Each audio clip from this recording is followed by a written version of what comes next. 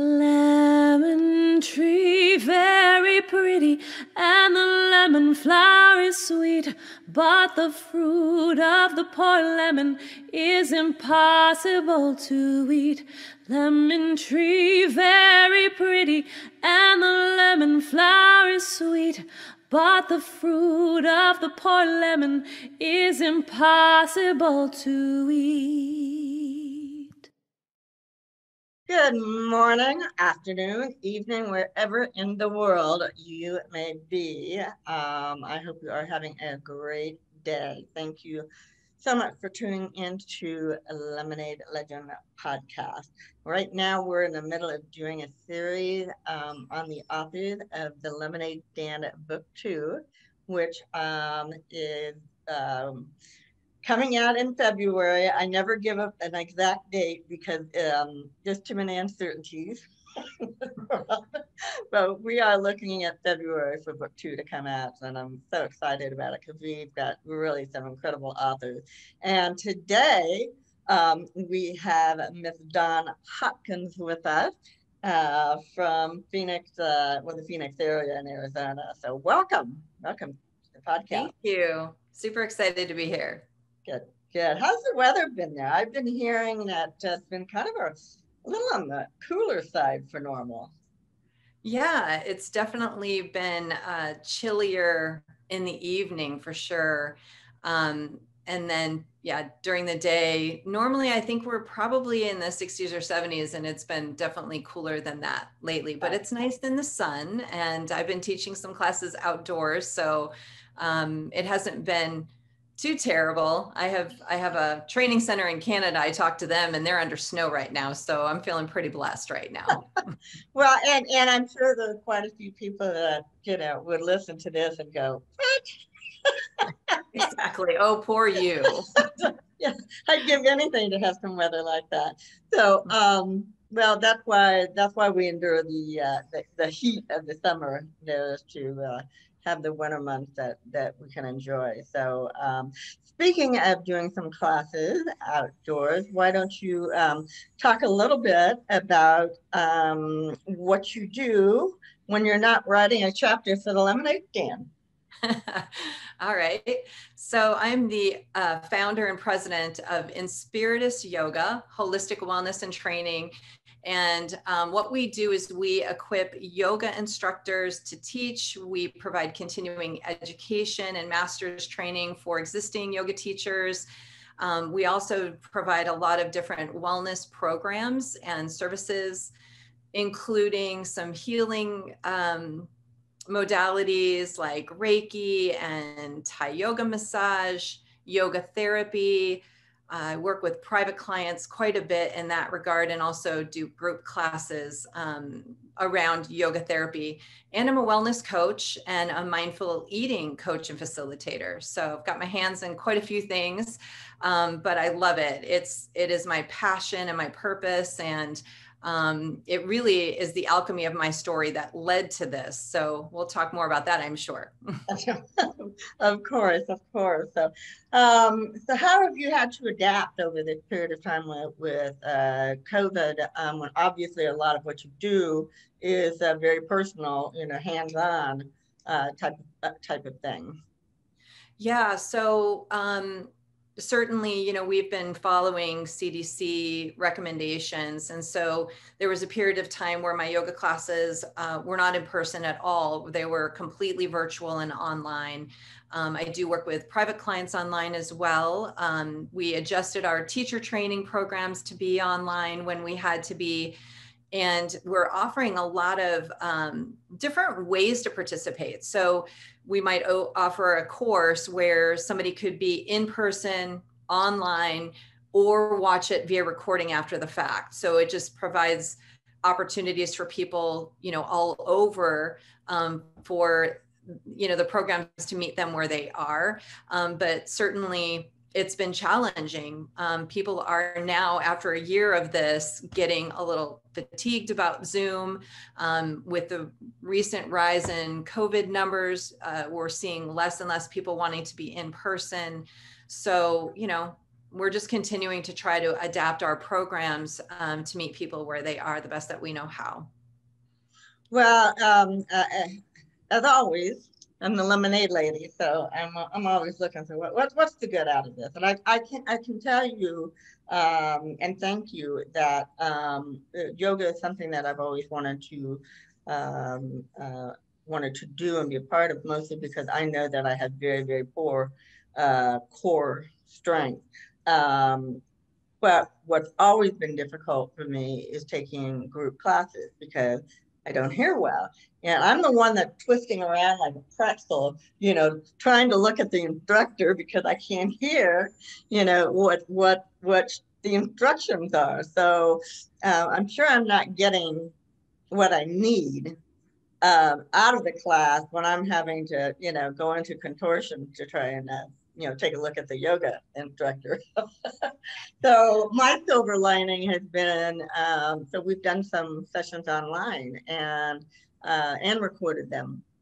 And so even though there are still some times that I have to kind of look over to the computer and the Zoom, make sure that, that I'm doing it right, the more I go over it on the recorded sessions and the more I go, okay, I'm spot on, I'm doing what I need to do.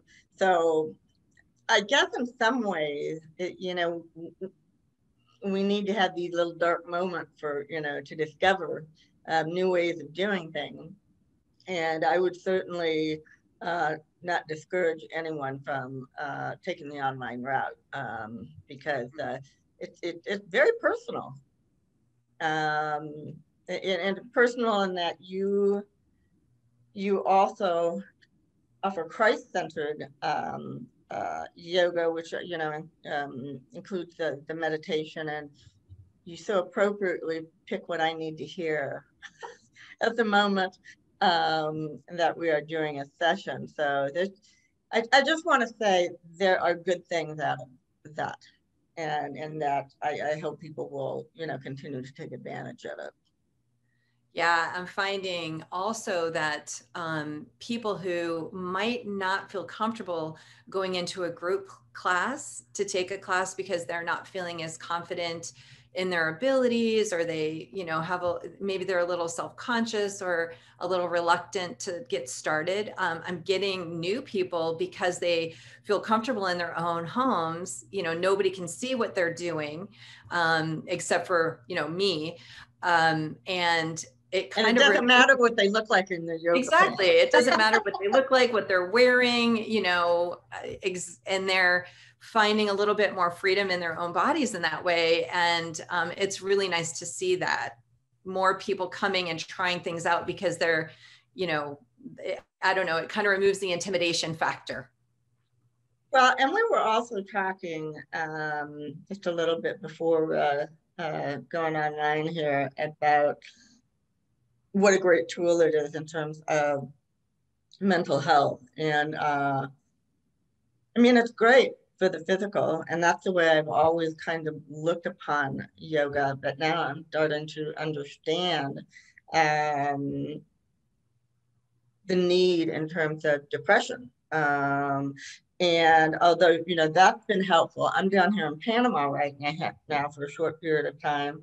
So the weather is such that I can swim that's been an absolute lifesaver mm-hmm. for me is to get out because we've had um, definite quarantine restrictions, but I'm I'm in a condo, so I'm technically not leaving the condo if I'm using the pool. Um, and uh, so doing those kinds of exercises, yoga and, and, and the pool has been like keeping me like happy. or or at least you know somebody there because there have been some days it's been you know pretty tough. And uh, then you go out and you get you know your, your dose of exercise um, and it's like a whole new world yeah, there's so much more uh, benefit to yoga than just the physical. Um, science is now showing and proving the mental health benefits of yoga in terms of stress reduction, stress relief, um, helping with things like anxiety, depression, sleep disorders. Um, and boosting overall mood and improving serotonin levels. And so there's a whole body of research behind it. Um, I also work with people who have trauma and PTSD, and certainly those numbers are growing given what has happened over the last year. So um, I love to be able to provide people with, with tools and things that they can use um, to help them mitigate, you know, what is happening uh, for them in regards to this pandemic and the isolation and everything um, and the impact that that has had. Yeah. Well, that's a great segue into uh, your story, too, because I know that uh, actually, when we first talked, the discussion wasn't uh, so much about your story. The discussion was which story. uh-huh. so, um, in fact, when people tell me, oh, I don't have a story, I say, oh, you have a story. In fact, you may have more than one. Um, but uh, you knew you had different stories inside of you that could offer inspiration. You chose to write about um, uh, love and the love you have for your current and most wonderful um, husband, Bob, and um, who I feel like I need to steal from you. talk about. I could steal him, but you probably you probably just can't go right back. So it doesn't. Yeah, that won't work. But um, but you went through a lot before you found um, your true soulmate, and um, a lot of that is what led you to yoga and mindful uh, eating. So, um, w- without giving this story away, um, talk a little bit about you know where you were at from um, a mental and uh, um, and physical uh, standpoint. Mm-hmm. Yeah, and I, I feel like um, it is so important that we talk about mental health issues. We're seeing such an you know an increase um, in these challenges and removing the shame and the stigma is so vitally important and so part of my story involves um, some mental health challenges that i had along the way so when i was young um, i struggled with an eating disorder i grew up in a very dysfunctional home um, with a lot of fighting that would escalate into domestic violence and I, I feel like part of my eating disorder was born out of just that anxiety, that lack of control, that chaos, right? Um, which is very, very common. And I was in um, a body conscious sport. I was a, a, springboard diver. And so the pressures to look perfect and, you know, to have the perfect body, like all of that, I think compounded. Um, and it led to some very dysfunctional eating and a very dysfunctional relationship between me and my body. So, um, over the years, uh, I was able to overcome um, the eating disorder behaviors, but the mentality was still present. And I carried that into um, adulthood and beyond. Um, and it wasn't really until I was exposed to the Am I Hungry Mindful Eating program and met Michelle May, um, who founded that program um, and became friends with her, that I started to unravel kind of the final residual stuff that was hanging around in terms of my relationship with food. Um, I had gotten really good at being a restrictive eater. Um, I was very, very focused on health and wellness. I, at the time I met her, I owned a gym and was a personal trainer. And, um, but the mentality was still there and um, she saw that in me and very gracefully encouraged me to take her program so I could refer other clients to her. Um, you know, the the people who were coming to my gym who who needed some support in that way. Um, really, it was for me first and foremost. And so, going through that program uh, revealed so much and helped me to heal my relationship with food. At the same time, I was exposed to yoga, Christ centered yoga, and um, specifically. And um, I hated yoga in the beginning. It was awful. I, I couldn't be still. I was so used to being an athlete um, and moving and challenging myself in that way. And so the stillness um, was difficult. And I think the stillness was difficult because of what was going on here. And so, um, so over time um, i started to like i fell in love with the practice of yoga because there was this spiritual component present that i really connected to.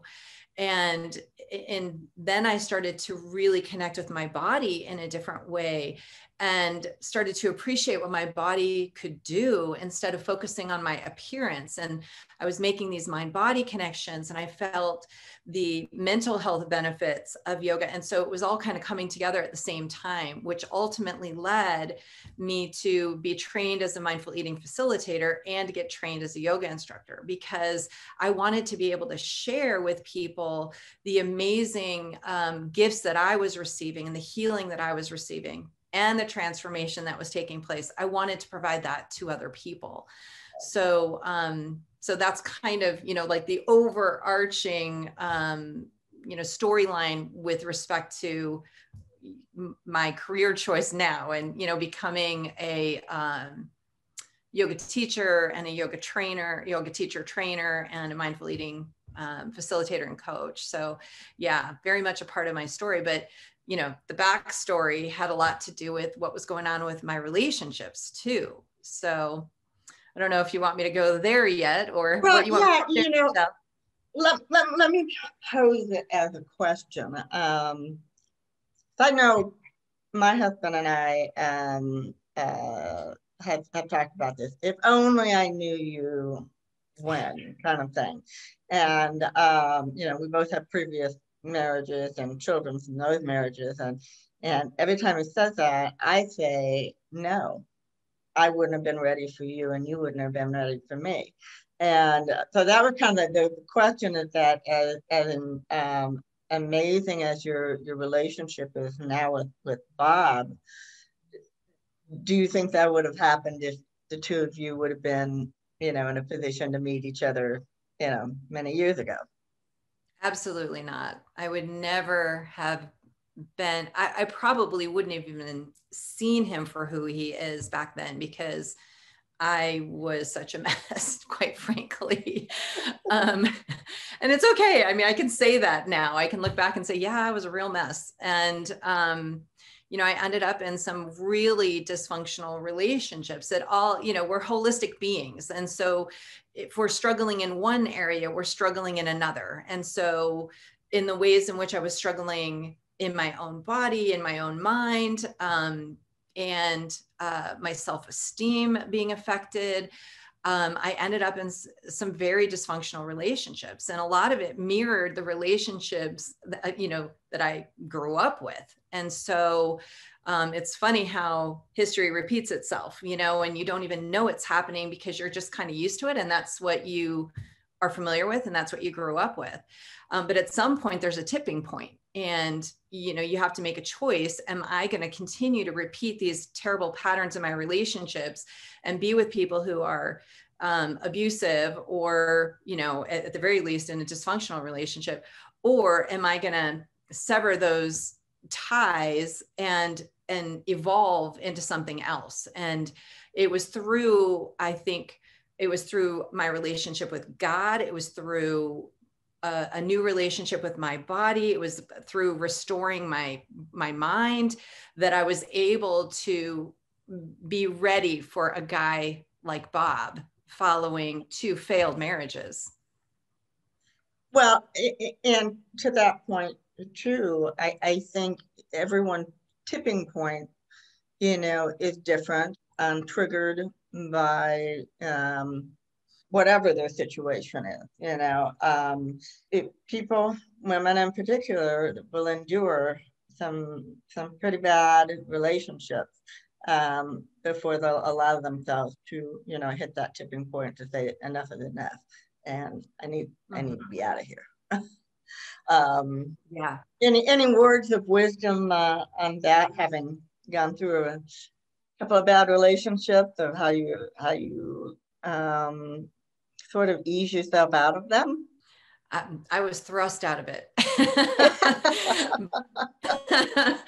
that being said, um, you know, I would just say that the the more we get to know ourselves, um, and the more we find a love of self, and at, at the very least, an acceptance of self, um, the better our relationships are going to be. And um, I had to make peace with me. You know, I had to learn to um, accept and love myself um, and and then start to reveal like the true self like who am i really you know what do i really what do i really want um, i spent a lot of time being a perfectionist and a people pleaser and peeling away at that and allowing myself to be authentic and transparent and and go oh by the way i'm not alone. Nobody's perfect. Wow. There's a there's a an aha moment right?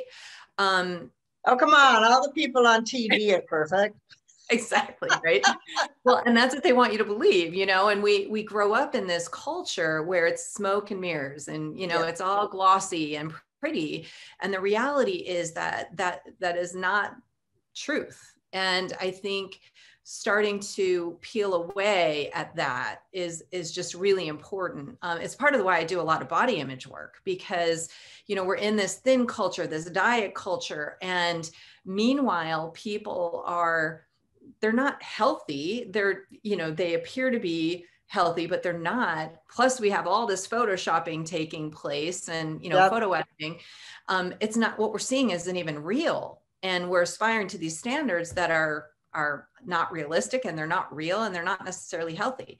So um, anyway, I think I'm kind of going down another rabbit trail here, but um, I, you know, for me, it was learning to love and accept myself, um, receiving the love of God, and realizing I was a child of God and I was loved exactly the way I am, um, and and then starting to uh, I don't know, look at other people's relationships that were healthy and vibrant and going, wow, I, I really want that. And that is part of my story. I saw Bob um, and his late wife, Sandy's relationship, and was like, I have nothing like that. I want that someday.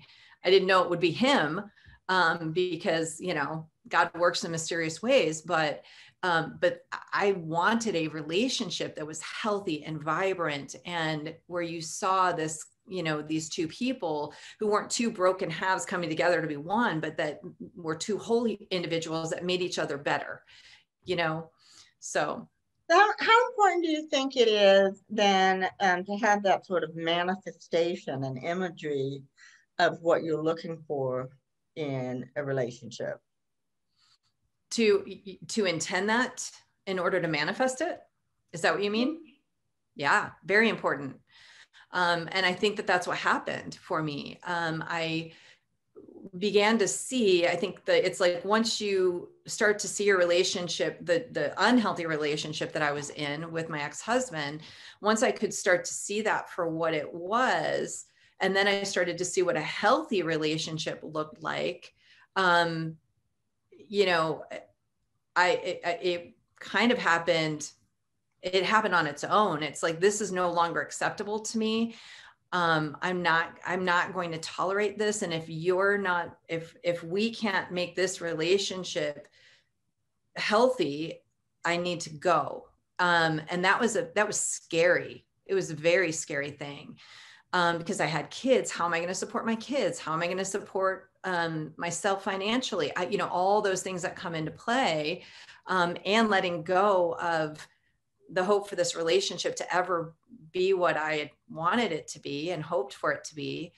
Um, and then on the other hand, going, but I know I can, I, I, I can have something better. I could, I can be in a relationship with somebody who really values me and sees me and supports me and loves me authentically. Um, you know, putting that intention out um, made me willing to wait for a while. Yeah.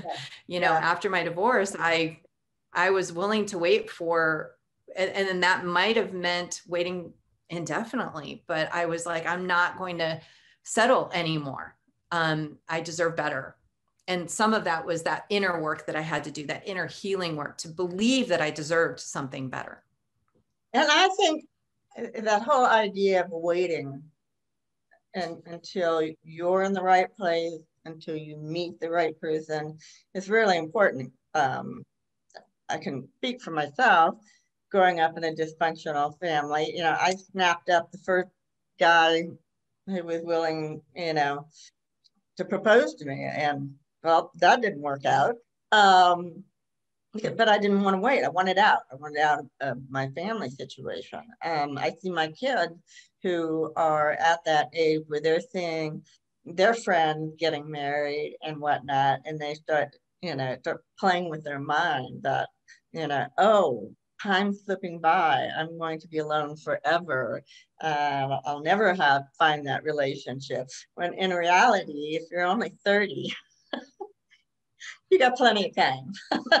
right. um, you know, but but we have this concept of, of what's right, you know, how old we should be, you know, when we, when we're having babies and you know, when our careers are, you know, you know, just getting set off and and and it's just, you know, we really have to get rid of I think that timetable that is sometimes somehow has been ingrained in all of us of, of how things are supposed to be. I agree. Absolutely. And just allow things to be what they will be, you know, instead of trying to control the process and, um, and what's wrong with being alone? you know, like what? Well, you, are absolutely right. And I actually have some female friends who um, chose mm-hmm. to, can you know, be single and they're in their 50s and 60s. And I, I wouldn't have done this any other way, you know. I've been happy having my life the way I want it. So um, it is interesting, um, and I love seeing people who are able to step outside of that little, you know, zone that that we've all gotten ourselves, you know, uh, caught up in of, of, what's right and what's wrong. So um, I think it's just a matter of living outside the box and just finding what's right for you. I was just about to say living outside of the box and coloring outside of the lines, right? Absolutely. Absolutely. Well, um, let's talk a little bit more about your uh, your story. Um, in that um, you were very good friends with with with Bob, but he was married at the time, um, mm-hmm. and you were friends. I mean, very good friend. Um, and so it's a, and I don't want to give too much away because, you know, nobody cheated on anybody. There's nothing, you know, nothing bad or nothing wrong. But um, I, I do encourage people to read the story to see how that dynamic happened, where you went from, you know, friend to then Sandy uh, losing her battle with cancer. And, uh, and then there was that oddness between being friend to saying, oh, we might be able to have a relationship here. so it's a beautiful story. It's a beautiful story because I, I, I think you really had to think it through before mm-hmm. making a conscious decision that um, an intimate relationship, you know, was okay when you had been all these other things in terms of friends and whatnot. So I love mm-hmm. that part of your story. Mm-hmm. Um, I remember the first time I thought he was cute in that way. I mean, I always thought he was adorable as a human. Um, but all of a sudden I'm like, hmm. like I never saw you that way before. He's kind of cute. What's up? and then I was like, and then I was like, oh gosh, is it too soon? Is it, you know, should I be yeah. having these feelings? And yeah. So yeah. I, yeah. I, don't want to give it away either. I want you guys to read that story, yeah. but um, read it yeah yeah um, but there was it, the other thing too is um, reading about when you were diving um, which is difficult sport and and you were good um, but i remember you saying but your father it was like you weren't good enough. So it suddenly lost kind of its appeal um, it definitely for something that you really wanted to strive for. Um, but what I wanted to say about that is that it, it reminded me of a couple of days ago when I was swimming, because I'm swimming for health and exercise now. And I was feeling very, very frustrated because I'm like, I'm out here like three or four times a week. I'm not seeing my stomach budge, you know, nothing's happening. And then as I'm swimming those laps, there was at one point I said, I'm swimming for my health and I feel better. I already feel better. I've been feeling better since I've been doing this. I need to take the focus off you know, what's going on on my, you know, my stomach and my thighs and my, you know, behind and everything else. But, um, but it, it, it was a kind of a pivotal moment for me to remember that, that I was doing it for health and um, other things will follow. And, and I know in the diving world or that body image, I mean, you can't have an ounce of fat anywhere. Mm-hmm. Yeah. So that, yeah, that it's, it's like that with figure skating, you know, dancing, you know, any of the gymnastics, any of those sports where your body is exposed, you're not just being judged on the way you perform a dive or, you know, a routine. Um, you're you're being judged by how you look. And it was it's a lot of pressure.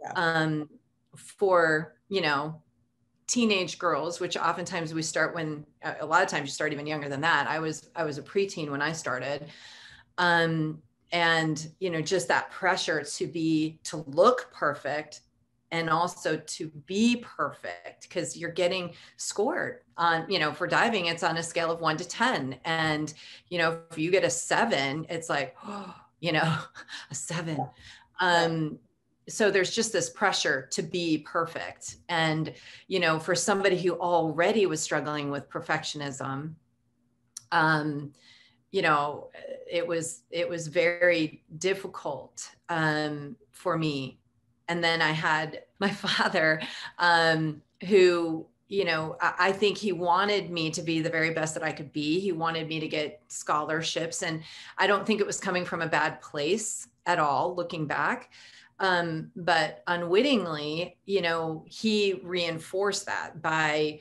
constantly reviewing my videos of my diving meets and pointing out all the flaws and all the mistakes I made. I, I was already doing that. I didn't need help with that, you know? Yeah. So um, eventually I lost my love for the sport and it was, it was really kind of sad and unfortunate looking back because I, it was such an important part of my life for so long. Right, right. Okay. Well, I'm sure it did a lot to teach um, discipline and um, and what body health, feeling good um, um means, um, which carried over into eventually yoga.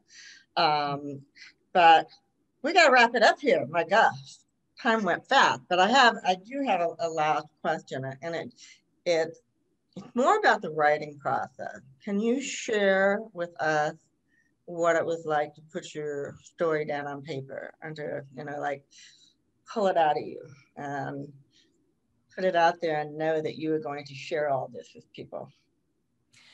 Yeah, it was terrifying. it's very exposing, you know, because it's one thing to share your story one-on-one or even in, you know, a group setting, but now anyone and everyone could potentially see my story. Um, and I think that for me, that process was about letting go of the shame that I had about my story. And I thought that I had really done that inner healing work in that way. Uh, but there were still layers of shame that remained. As I was writing, I'm like, do I want to say that? Do I want to share that? You know, in doing that, there was so much freedom. Um, I think it took me to levels of healing that I never knew were possible. Um, because it's about, okay, I'm going to be transparent, I'm going to be authentic and share what my journey has been in hopes that it will inspire somebody, help somebody, encourage somebody, whatever the case may be. But, you know, with that goal in mind, that made it so much easier. But in the process of doing it, I felt just like I was liberated, like this part of me was just opened that I hadn't realized I had kind of locked down because of shame. Thank so thank that. you for inviting me and constantly encouraging me and and you know that was really an important part of the process for me. Well, and I appreciate you sharing that because that's I've seen it so often and that that's what I do try to, to, to tell people who are very reluctant is that you have no idea, um, you know, what that liberating feeling is going to be. you know. And if in the end you you choose not to share this story, that's okay. But I feel even the process of putting it down on paper is a very very powerful um, process to to because you know when it's just running around in your head, you're not really you know it doesn't follow a timeline. It doesn't make all it doesn't you don't connect the dots when it's in your head but when you start putting it down on paper, you connect the dots and you understand more, you know, why you are who you are um, and why you come to where you're at. So I'm very proud of you. I appreciate your enthusiasm um, that, that we've um, been sharing all along the way and for being here on the podcast. Um, so look forward um, you, you Lemonade Legend listeners out there for the Lemonade Stand book two, From Sour to Sweet, An Alchemy of an Extraordinary Journey of Virtue. Um, February. as close as our come. February. Thank you everyone for tuning in and I hope um, you all have a, a great day and um, we'll be talking with you um, next time. All right. Thank you, Dawn, so much for being with us. I appreciate it. Thank you, Michelle, for all that you do to inspire people encourage people and the work that you're doing is is really making a difference in the world and it, it certainly made a difference in me so thank you. Thank you i appreciate that. Uh, All right bye bye everyone Lemon tree very pretty, and the lemon flower is sweet, but the fruit of the poor lemon is impossible to eat. Lemon tree very pretty, and the lemon flower is sweet, but the fruit of the poor lemon is impossible to eat.